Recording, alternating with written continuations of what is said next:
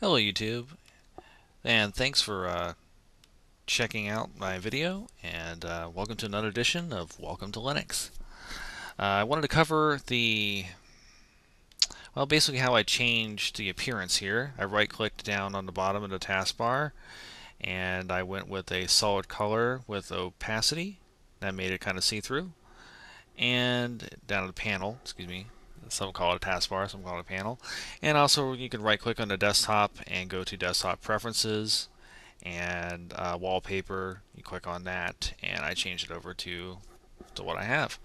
So makes it I it allows you to personalize things, make it a little, you know, look a little better in my opinion. So in this video, I'm going to be taking a look at the browsers available for Lubuntu and Ubuntu and Linux in general. So first one that comes uh, right off the bat with Ubuntu is Chrome. Now everyone knows this is Chromium, excuse me, the open source version of Chrome. Everyone kind of knows what Chrome is. Chrome is from Google. Allows you to install such great apps like currently you can get Angry Birds for free. And um, things like that. I can pull things as far as like tabs, I can pull them out of Windows and create their own windows just by doing that, or put it right back in and allows you to just easily uh, rearrange by clicking and, and dragging along over the top. Now, great thing about Chrome, you can search right there in the address bar. There isn't a really a separate bar for search. It's just, it all comes all together. So, uh, one of the uh, great things about that. So here I can change, watch me change, uh, you know, the order real quick. Second browser we'll be looking at is going to be Firefox. Uh, Firefox comes by with and uh, excuse me comes by default with Ubuntu 11.04 and uh, pretty much every version of Ubuntu I've looked at.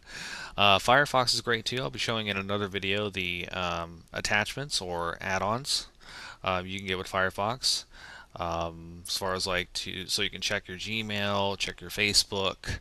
Um, I have an attachment as well that allows me to download Flash video, so I can archive the videos I put up on YouTube. So it's uh, pretty good. And there's the plus button for adding tabs. You can also you can drag you can't drag out of window like you can with uh, Chromium, but you can drag as far as like the uh, change positions. It's um, not as smooth as it is in Chromium, but it does work.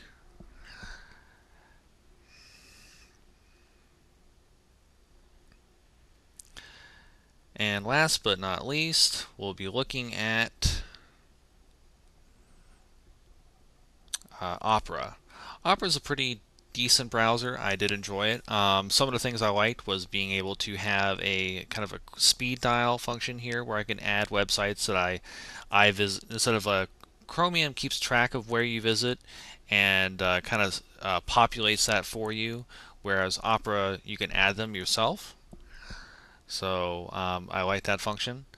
And uh, Crackle one, and Hulu, one of some of my favorite uh, websites to go to because they work just fantastic with Linux, as opposed to Netflix, which uh, does not.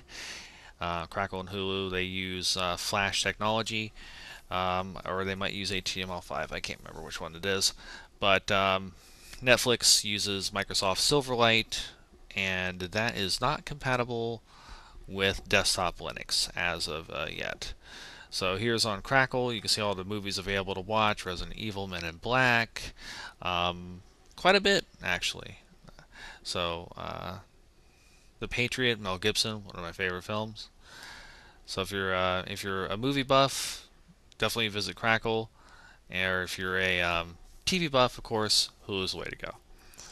So, and every time you open up a new tab, browser, excuse me, a new tab in the browser, uh, Opera defaults with the speed dial. So, and you can always you can change the search box with Bing and Google, and you can even use Wikipedia.